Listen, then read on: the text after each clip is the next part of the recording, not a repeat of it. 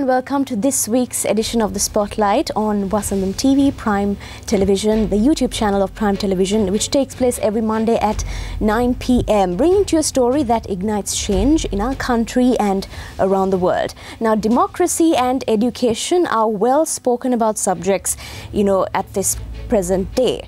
So, but what happens when two of these combined, when both of these come together? To speak about this, we have someone very important in our studios, Yasodhara Pathanjali. She is a life coach and she is a co-founder of ICS, Sri Lanka's first formal alternative school. So, thank you for joining us today and well, let's see what the next one is going to look like. Thank you for having me. Uh, it's a real pleasure to finally meet you and do this.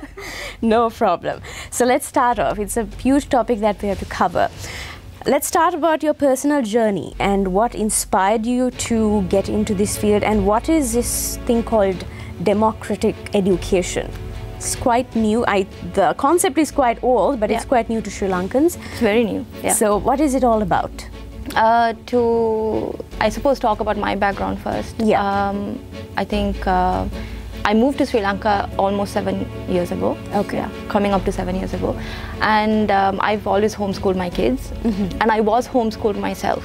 Okay. So there's this kind of alternative education story arc throughout my life. Mm -hmm. um, I think when I was very young, I really kind of when I started to notice that we were different, you know, mm -hmm. I wasn't going to school and other kids were going to school. Yeah. Um, I had a lot of questions about, you know, what does it mean? How mm. does it benefit us? And what I really saw was that um, there was a lot of freedom in it. Okay. Not necessarily that freedom was my experience also, mm. but I saw the potential for freedom. Yeah. That um, a child can develop into their true being mm -hmm. rather than sort of being a cookie cutter version that schools tend to put out all over the world. Mm. And I should say, I grew up in London, not here. Yeah. So uh, there was a lot of, but the education system is pretty much the same from UK to here. Yeah. So, you know, there's not much difference. Um, so very young, I had decided that I was going to homeschool my kids, um, even before You liked that concept? I like that. You like that freedom that came along with it? Freedom is something that's very important to me. I think it's something that if we are all given more of, we can all thrive more. The, the more we are told, be this shape, yeah. think like this, dress like this, behave like this, do this by external parties, um, we diminish a lot of ourselves. Mm. So I think that freedom is something that's very important and it's important for humans. Um, yeah. We have become the human civilization because of that, because we had the freedom to create and to innovate, yeah. um, to problem solve our own way, to create culture um, science, all of these things. Um, so yes, so then I moved to Sri Lanka um, and I had worked with a lot of um, homeschooling communities back in the UK. I had led two different communities over there. So when I came here and I saw there was nothing like that here, but I could I started to connect with other parents who were homeschooling. So I kind of started building that homeschooling community here. So you networked? Networked mm -hmm. and kind of brought everyone together. We used to do some, you know, trips out, um, okay. get the kids together on different days to do different activities. So there was a nice sense of community. Obviously, COVID uh, had a yeah. you know impact on that. Um, but through that journey, you know, and of course because of my social media presence as well, yeah. I speak to so many parents. I get like 150 DMs a day from mm. various kinds of people, but a yeah. majority are parents. Okay. So speaking to all these parents through these last um, seven years, one of the key things that came out was you homeschool your kids. We see every day from your Instagram stories the kind of lifestyle, the childhood that your children are having. How can we access that? But we're not ready to homeschool. Whether it's financial reasons, personal reasons, whatever, they're not able to make that leap. So that question kept coming up and I was always shying away, saying, no, yeah. no, I'll just focus on my kids. Yeah. Um, but this sort of last year, I started thinking, okay, maybe I should make a change. Make a change. And this year, uh, me and my husband decided, okay, let's do this. The demand is there. Um, also, I think post-COVID, people have finally opened up to think, what is this traditional education? Is it really serving our lives, mm -hmm. our children? Um, so it's the right time. it's a very scary time to be doing. I mean, if you're going to start anything new, it's a scary Yeah, time. there is a sense of fear. Yeah, That's it's, true. It's it's a lot to take on, but it's also super exciting. Um, so yeah, so that's the kind of how I've ended up here, um, with only like three and a half months before the school opens. All right. So now, democratic education. When did it start? Has it been there since some time? Yeah, it's um, it's definitely something that I think from a traditional education perspective, we're so used to being told that even parenting and education both, we are always told that it's a hierarchical thing. Children should listen and not talk back. Children should do because we know better, and that um, that is the right way for them to learn. I think recently on social media, I've see, been seeing a lot of posts that say, uh, if you think that suffering is an inherent part of learning for your child, the first thing you need to grapple with for yourself is that you didn't need to suffer to learn either, but you were made to. And because we are made to, we pass it on to the next generation. Um, but democratic, carry it forward. you carry it forward because Yeah. it's all we know. Yeah. Um, the idea of democratic education actually dates back to the 1600s. Way back in time. Way back. My goodness. Um, okay. The first democratic school that we that is recorded. Okay. Uh, there may have been others that have slipped through history. We don't know. But Leo Tolstoy in Russia had the first democratic school in the 1900s. Mm-hmm. Um, but uh, no, sorry, 1800s. 1800s. Um, and then 1920s, the real movement uh, Began. began because actually if you think about it it's only at the end of the 1800s that formal schools anyway became a thing. It's not like we had formal schools where all children attended before the end of the 1890s eh, 1800s anyway. Yeah. so literally within 30 40 years of formal schools uh, becoming a thing worldwide um, democratic schools started popping up. So it's almost as old as traditional education Why does it stand out from traditional education? What makes it so special? What takes place in a democratic school? um, just like traditional school isn't one thing uh, you will get if we take maybe a school in Sri, a government school in Sri Lanka, it will be very different to an international school in Sri Lanka, which might be very different to a Japanese school. Let's say, you know, traditional schooling also is a very diverse um, thing. Yeah. Um, the same with homeschooling, the same with democratic education. It really depends on the context of, I suppose, uh, how that school was founded, what principles it was founded under, and then the students and the teachers and the staff um, who are connected to it. Um, in a very broad sense, democratic education means that a student within that has the same amount of say, a one to one vote, shall we say, um, to decide on their education, on what happens in the school. And I know there are schools, democratic schools in the world, where the students have an equal vote in hiring and firing, from teachers to staff. So, From what age does this start for the child to make a vote? so the schools where that level of democracy is available, it tends to be secondary school, so 12 upwards. Does a child have the capacity to know that this person can be fired? So it's a voting thing. So the, the student themselves are not deciding, but as a democratic unit, everyone in the school. So the teachers and the other staff will also have the same amount of votes. Um, so it's one of the in, interesting elements of democratic education for me is exactly your question because I think socially, forgetting education for a second, socially we don't empower, empower our students or te- children to make those kind of decisions. But being in an environment where that is part of their life, that is part of what is expected of them also. The other side of it is that you do skill them, you do empower them, you do teach them how to think openly, how to question these things. So one of the actually criticisms of democratic education is that a normally schooled child or a mainstream traditional school child might not have the skills to really connect with the democratic system. But I suppose that's the, also the criticism of democracy, full stop. Yeah. You know, when we talk about elections, one of the questions is, well, is everyone really competent enough to vote? Yeah. And all over the world, the resounding answer is no. Mm, Right. That's true. Um, but so it is it is a, a, a weakness, I suppose, in the democratic system in whatever way that you roll it out. Um, but because a school is a smaller unit than a country, we are more able to empower our students and to create the structures that then benefit the school and the students alike. Mm. Now, can this level of democracy in education can it be put into a traditional school, or does it have to be uh, a separate school altogether?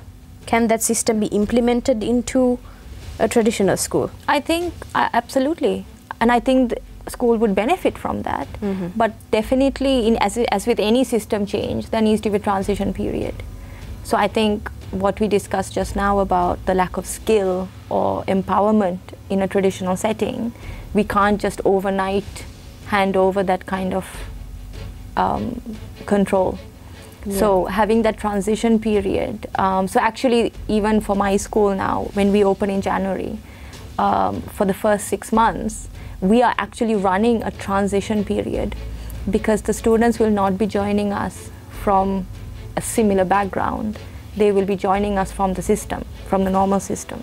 Okay. So already, even for our school, the first six months are actually designed to operate differently to how the rest of the time at school will go, because we have to have this time when we are um, supporting our students to become um, people who can competently engage in that system, in the democratic system. So we, so that transition system is very important. So you were also mentioning the child will have the power to hire and fire a teacher. Does that include principals as well? Um, democratic schools don't have principals. No principals. No so who is the head? The school. Okay. I'm the co. Me and my husband will be co-founders. Okay. That is just. I y'all are just finding. because we are co-founders. okay, y'all are setting the foundation setting for the, school. foundation. Yeah. So, if there is a need Yeah. for a decision to be taken, Yeah. what happens? Um, collective um, committee. Um, Mm-hmm. Very communist era like, but uh, it's it's supposed to be run on. So the school that I um, look up to the most is a school that's in the UK that has been there for about 40 years. Okay. Um, they have a system where there are two um, sets of governing bodies one that is more day to day and one that is more bigger issues Like Um, what? So i suppose what we talked about the hiring firing type Okay. of things the, the bigger the direction the school should take that sort Mhm. of thing and then the day to day group um, which all people within the school have access to to What about the, the first one you were mention, mentioning? Who is in that for the hiring and firing? Who comes so under that that? is um, voted by the students. So then, Okay. so it's a limited number of people. Oh, okay. Um, our school will not necessarily run on the same lines Mhm. because we have a bigger age group. So we are And that will open to we, from four upwards. Four upwards. So we can't be expecting four five year olds to be taking Yes. such big decisions. So we have a much more um, incremental system that is Mhm. being built currently, Mhm. uh, where we can still empower our students, Mm. uh, but safeguard the school at the same time. Let's talk about when you were when you're establishing the school. What are the challenges that came up with it? It wouldn't have been easy. It's not been easy, um, but for me, it's challenges are only difficult when I suppose you're being made to do it or you feel you have to do it.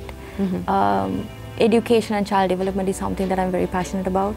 So challenges are more moments to think and moments to f- figure things out rather than kind of difficulties. Yeah. Um, Did you have any legal issues in getting it established with?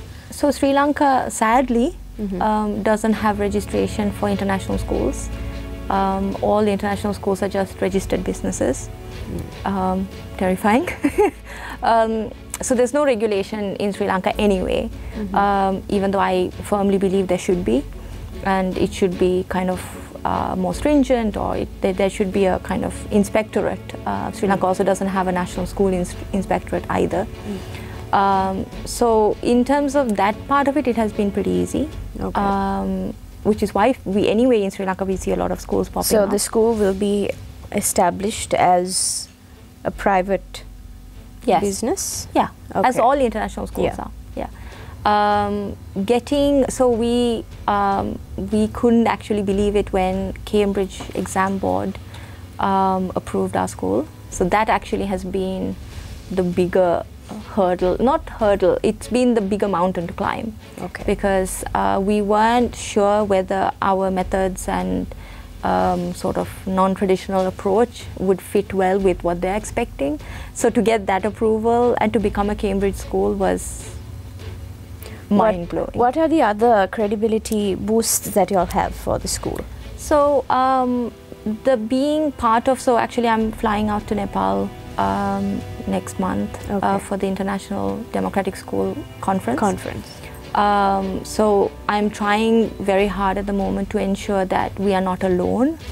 Um, Is there a bigger community in, in the other countries as well, or is it still budding budding. It's there are currently about 2,000 schools global. globally? Yeah. Okay. Um, so it's a pretty good number, I think. I don't think To it's a small off, number. yeah. Um, India at the moment doesn't seem to have any, but I'm hoping that information is wrong. That when I go to the conference, that there there Mm-hmm. can clear enough. it out, Yeah, yeah. I'm really that's something I'm really really looking to uh, clarify because I'd really love to connect with Indian Yeah. Hmm. schools that have already done this because it's closest neighbor. We Yeah. should have that community. Um, also, uh, we are the first formal democratic school in Sri Lanka. There are a couple of very small, um, informal quotation mark schools in Sri Lanka who've taken the democratic approach. Okay. but they don't offer any qualifications or any kind of future pathway, I Okay. suppose. So there are more opportunities for children to safeguard their childhood um, while being in a learning environment. Um, but being able to offer them A levels and O levels, and you know throughout education assessments and checkpoints, um, that really makes us different because we are giving them the same opportunities as a school as a traditionally school child but just with a better childhood for want of a, a better way of phrasing it So, what? How will you be formulating the curriculum for this for the child? So, and how will you assess them? Because will you be having exams? What is the process like?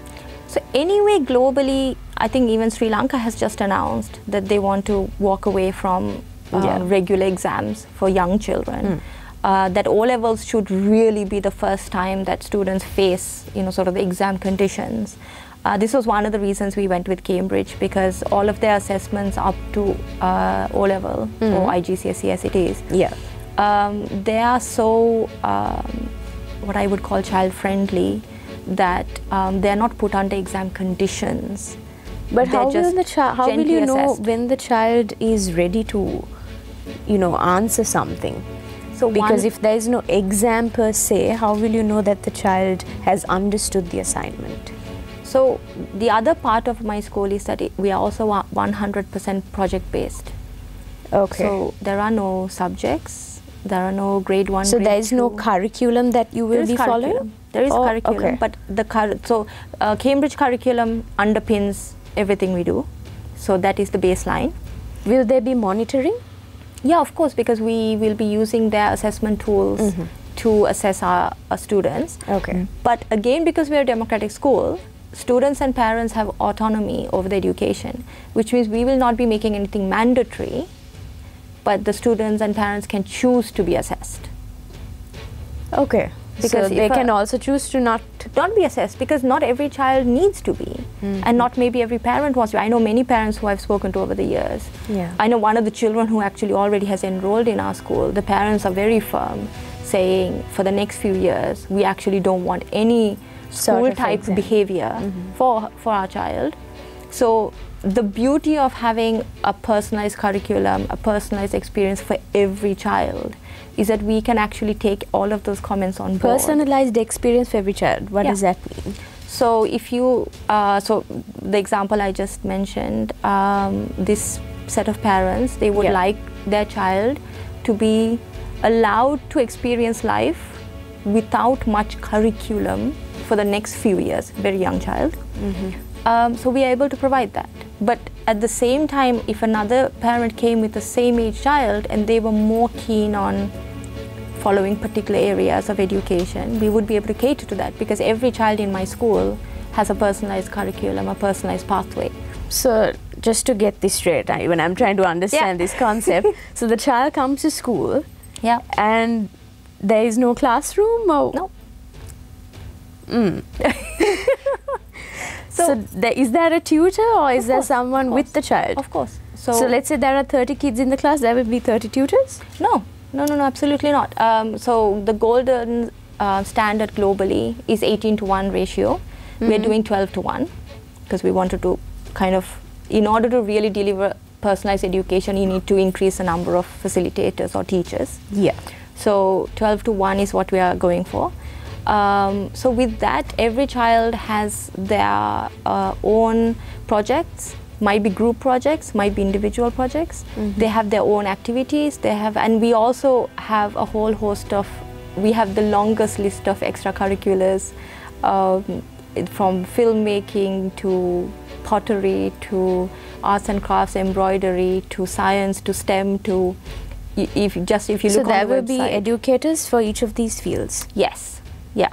So as workshops, Mm-hmm. because but when you look at, let's say, I was actually writing the uh, project. So within a project-based curriculum, each project you have to um, identify the learning.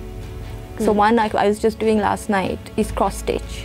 Now cross stitch doesn't normally come up in conversations about Yeah, education, yeah. but actually it teaches maths, it teaches um, design, it teaches um, Colour coordination. color coordination. It teaches wool and, and texture and material and what that is and how does wool actually let us do this, right? Yeah. And how does synthetic wool differ from cotton and uh, natural, um, you know, products?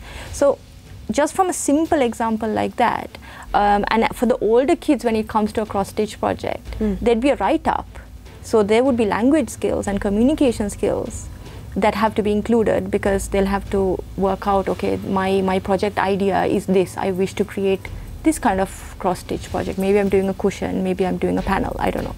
Okay. um, so so there are so many skills from one thing that we can pull out.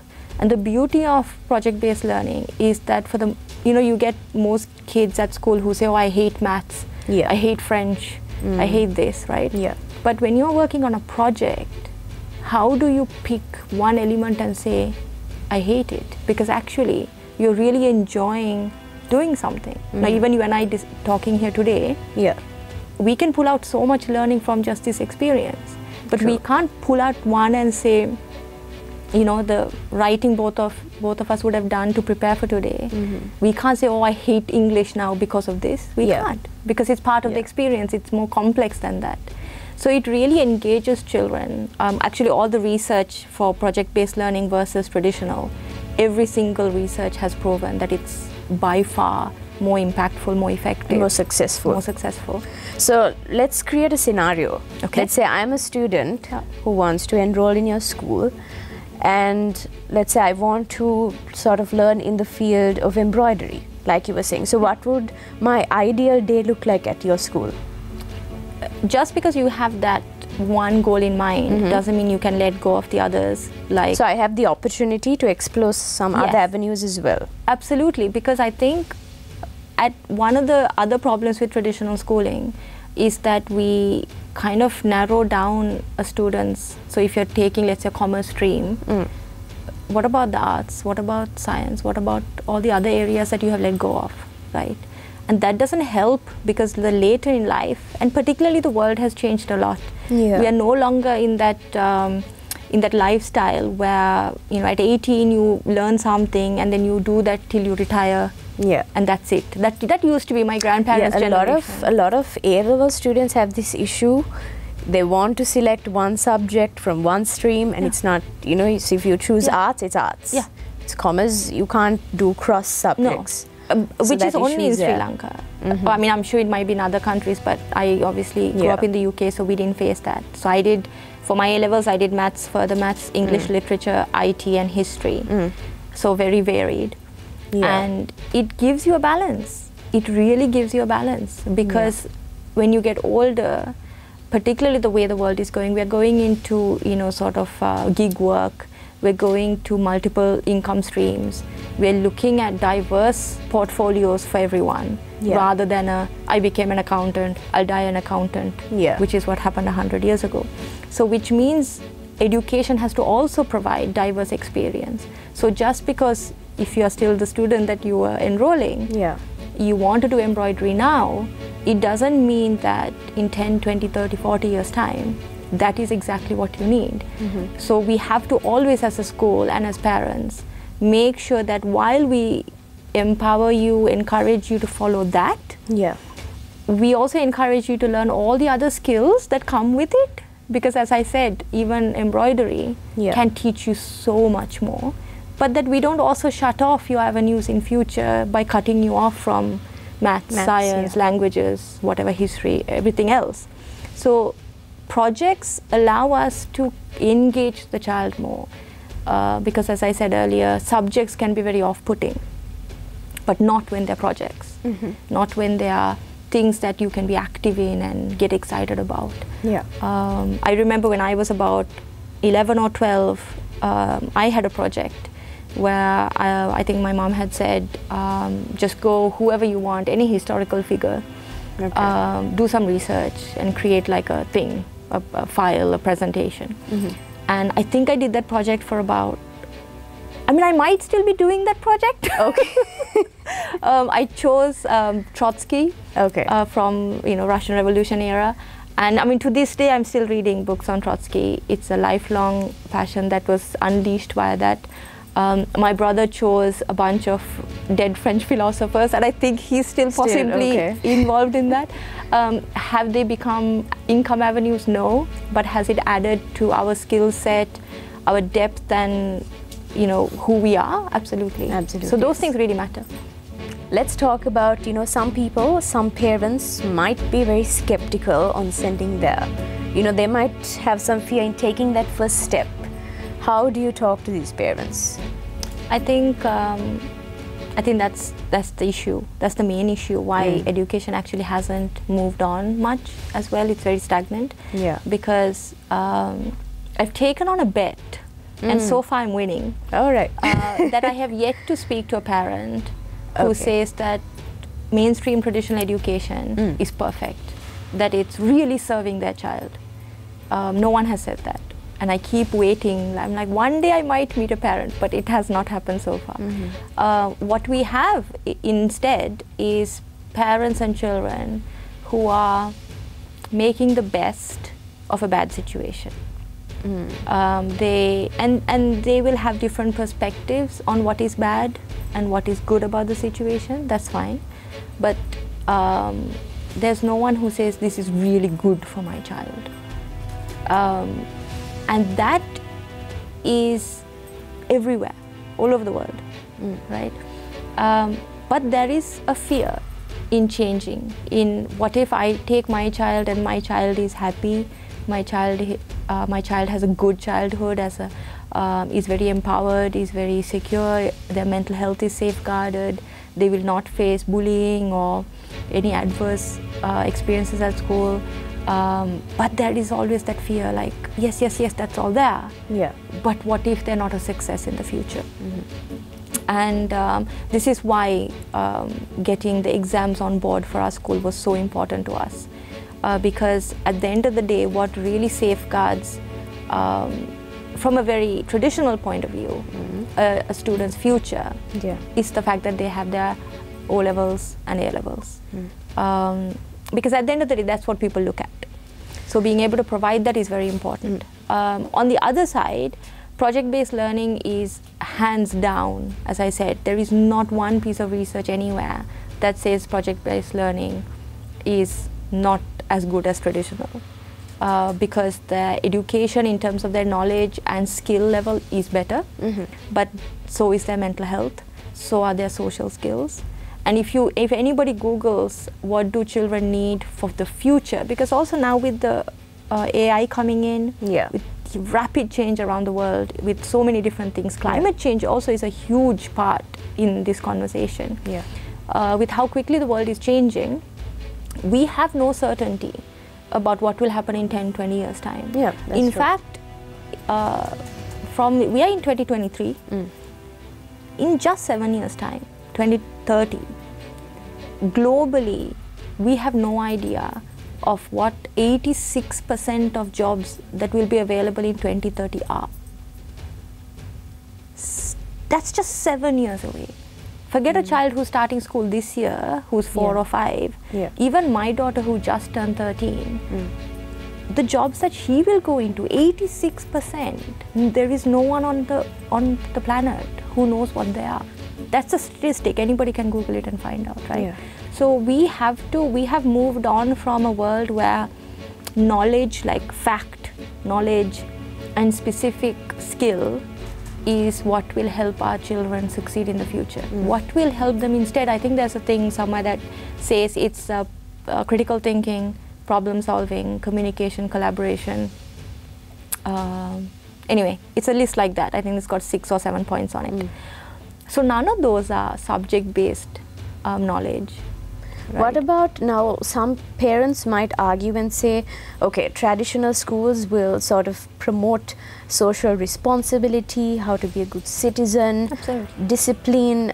How will a democratic uh, school implement that? Since the child has so much of freedom, you know, the child might not even realize the value of social responsibility. I think actually when you have more freedom, Mm. that is when you realize your responsibility a lot Mm. more. We, for generations, we have gone to school, Yeah. but we have a society that doesn't vote, that Mm. doesn't engage in their um, active citizenship, that does not look after the environment, that That's doesn't true. look after, that has no empathy for their neighbors or the people around. Um, traditional So, do you think giving not. a child that freedom will sort of improve social responsibility? Hundred percent. Because it, it when you empower people, they are Mhm. more engaged and they feel that they're valued. When you have that hierarchical approach of telling somebody do this, do that, think Yeah. this, behave like this, their value diminishes. And when their value diminishes, they don't feel like anything they do matters. So again, going back to democracy and not voting, Yeah. people don't vote because you ask them why. It's They what does my vote matter? Matter. right? Mm. So, but when you empower people To feel like they mean something. yeah, so that their voice matters, that their thoughts, their Mm. feelings, that they're taken into account, um, it has a huge impact. And also, one of the key things about, I mean, it's something as a parent, um, I talk about these things a lot with my children. So, definitely as a school, we will be very active in discussing our carbon footprint, our active citizenship, all of these things will be very important to us. Mm. I also read somewhere, according to the Universal Declaration of Human Rights and uh, the UN Convention on the Rights of the Child, it requires the child to, um, it's compulsory for the child to have primary education. So, how do you strike that balance, you know, a child starting from the age of four years old?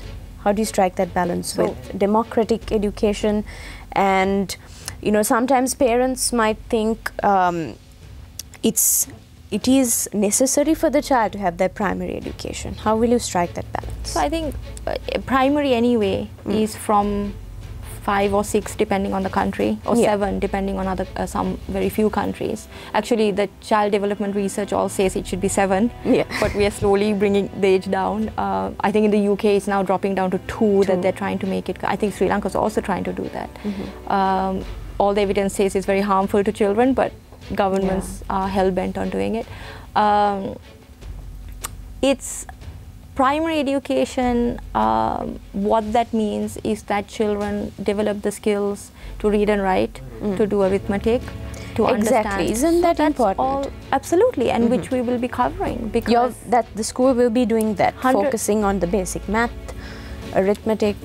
just not sitting at a table from Okay. a book.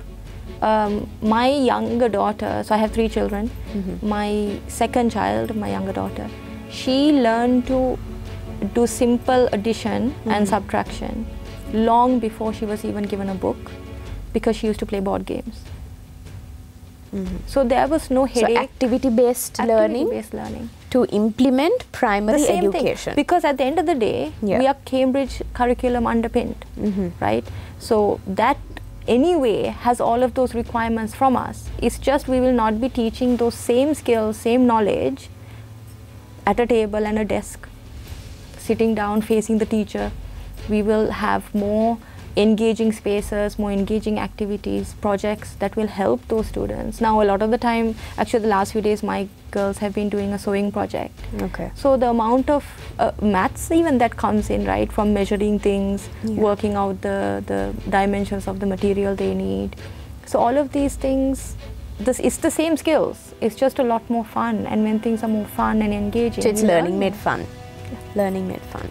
So now when uh, I have gone to a traditional school, so at the end you you say I have completed this. What does it come? How does it work for a child who has gone to a democratic school? Very much depends on what the student or the parents are seeking. Is there any final qualification?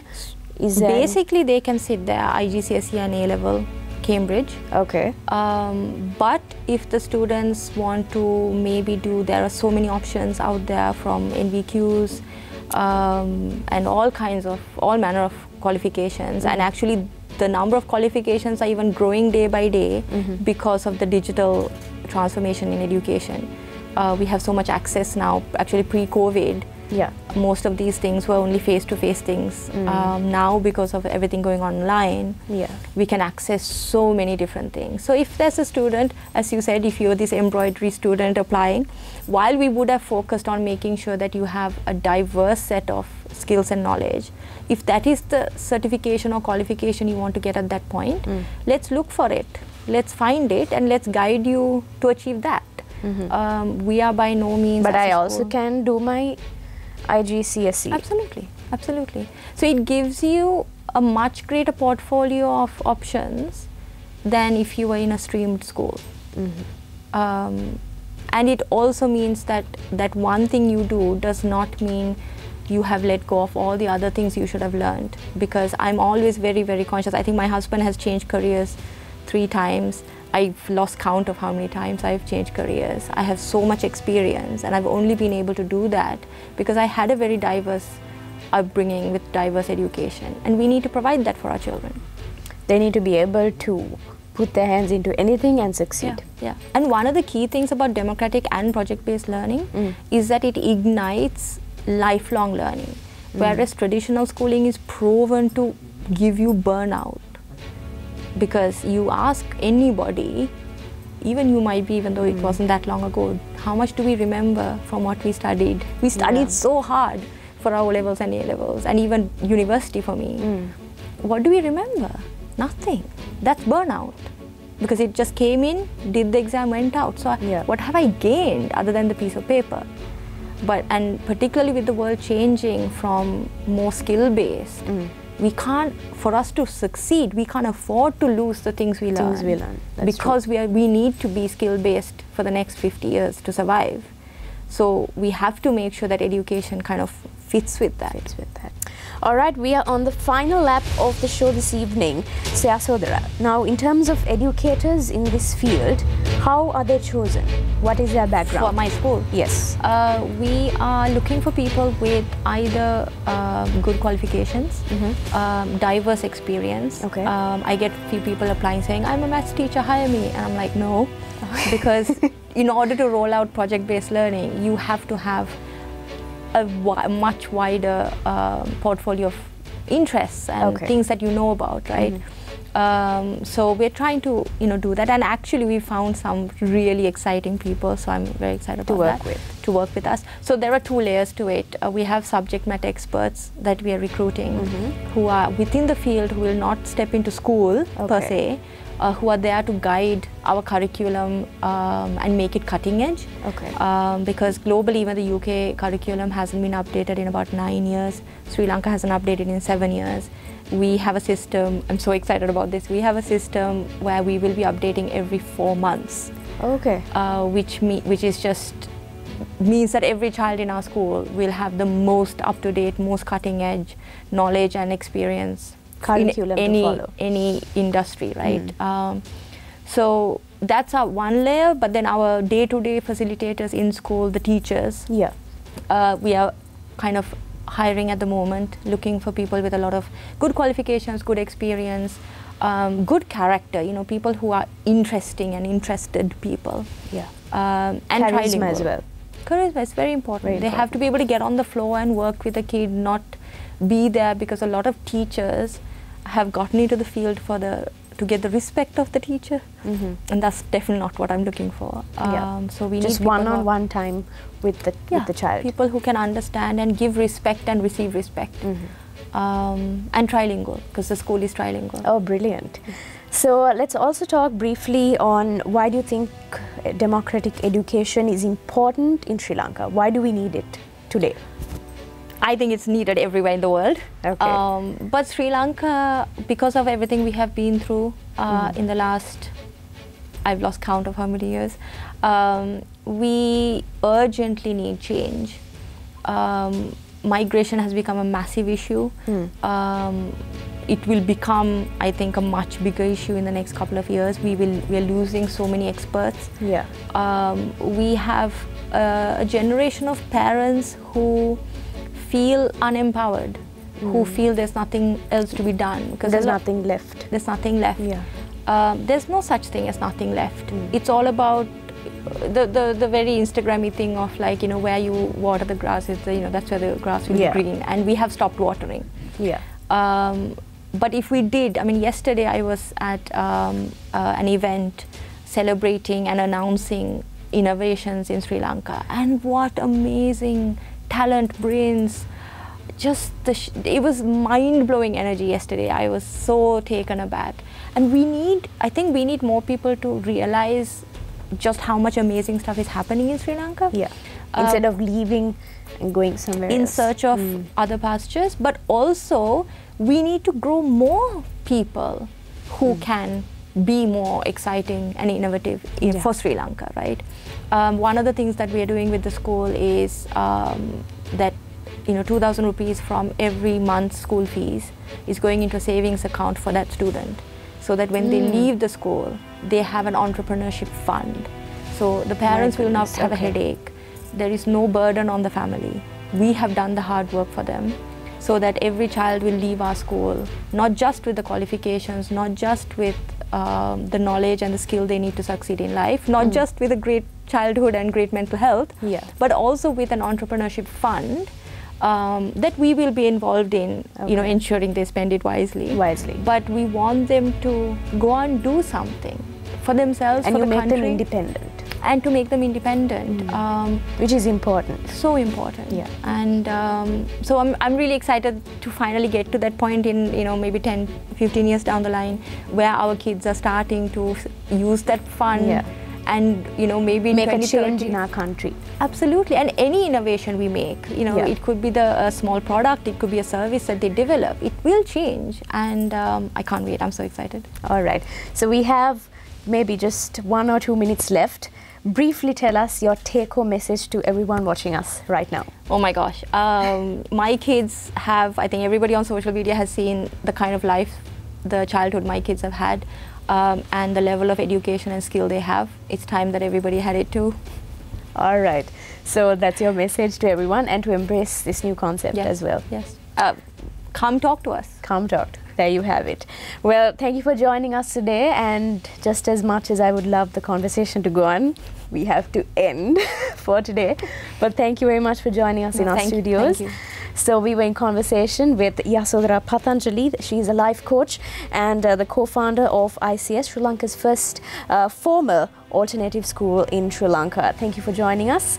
And that being said, we have to conclude tonight's program. Join us again next Monday at 9 p.m. for the very latest and bringing in a new personality that will bring in change in Sri Lanka and around the world. Take care and good night.